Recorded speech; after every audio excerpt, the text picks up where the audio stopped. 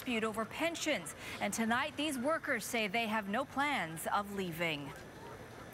Good evening, I'm Zuraidah Alman. The occupation at Northstar Aerospace has lasted nearly 24 hours. Police could move in at any moment, and the company says it is considering legal action to regain control. Let's go live to CTV's Miranda Anthistle, who is live outside the plant tonight. Miranda, what's the backstory here? Well, Zuraidah, the union said it had to do something drastic in order to get its point across, and it's not backing down, not until the company finds the millions of dollars needed to fully fund the pension plan. There's lots of activity outside this Milton manufacturing plant, but inside, work is at a standstill.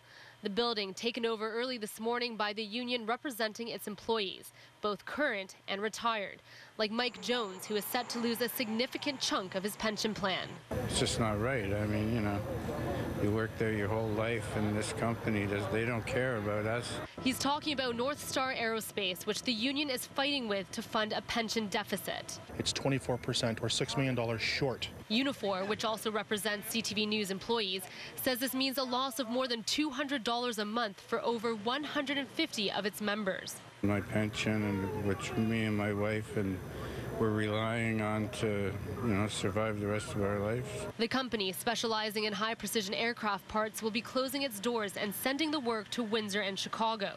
Heligear Acquisition took over Northstar after it filed for bankruptcy in 2012.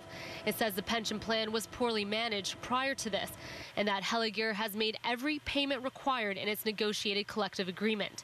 Any reduction or shortfall is a function of the plan management and design, which are not within Heligear's control.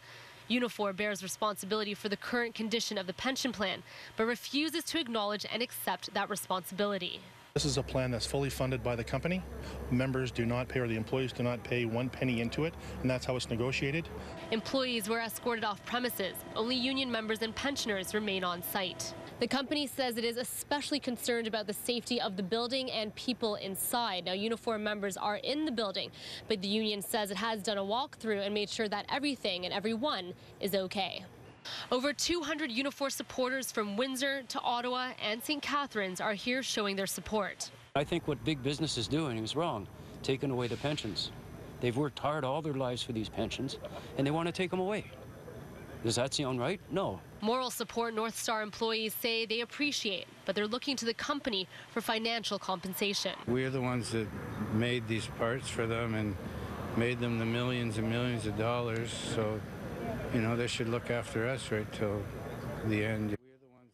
The union says it does have rotating groups of people with more supporters on the way, and while they do plan on being here for as long as it takes, they do hope to get back to the bargaining table as soon as possible. Reporting live in Milton, I'm Miranda Anthistle. Zuraidah, I'll send it over to you.